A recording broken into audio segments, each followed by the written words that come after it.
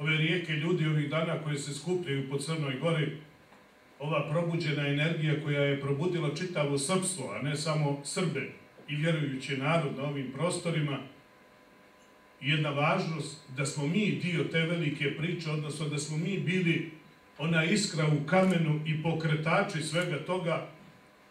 I ne treba niko da nas ubjeđuje, niko da nam govori to nemojte pričati, to nemojte otkrivati, to može da utiče na ove proteste, nego sa ponosom recite, baš mi smo pokrenuli ovo. I mi nijesmo repa bez korijena.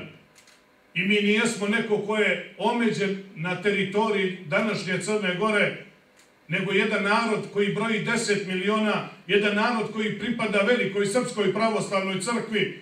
I mi smo promovisali ideju da se branimo kao narod, a ne da se branimo kao jedan mali dio naroda koji živi na ovom prostoru. Mi smo govorili svima, mi ne pristajemo da se Crna Gora pravi na antisrpskim osnovama. Mi mislimo da je Crna Gora u prošlosti bila država srpskog naroda. Danas treba da bude država i srpskog naroda. U Crnoj Gori ne postoji druge pravoslavne crkve osim pomjesne srpske pravoslavne crkve. I danas, gledajući i slušajući ovog komesara iz Evropske unije koji dolazi iz Mađarske, koji govori sve ono što bi govorio bilo ko od nas, ovdje okupljenih, koji nam kaže da je crkva odvojena od države, da država i partija nemaju šta da traže i da određuju da li će neka crkva biti autokefalna ili ne. Jedino crkva ima pravo da u skladu sa kanonima crkve traži autokefalnost, samostalnost, autonomnost i ostalo. I niko drugi izvan crkve.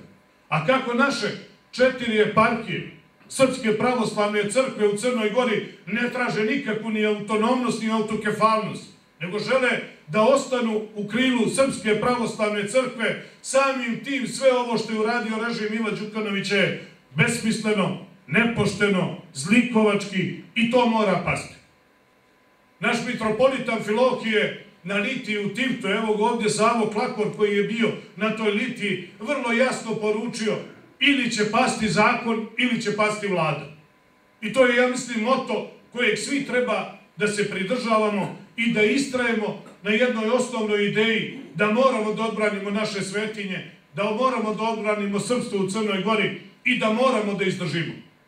Ali sa ovim pokretom, posebno od one večeri, od kako su ukapsili čitav klub poslanički demokratskog fronta, pa od kako su krenule masovne blokade po Crnoj Gori, a nakon toga naša crkva preuzela da organizuje litije i molebane, mi smo opet srpska Sparta i sa tim treba da se ponosimo.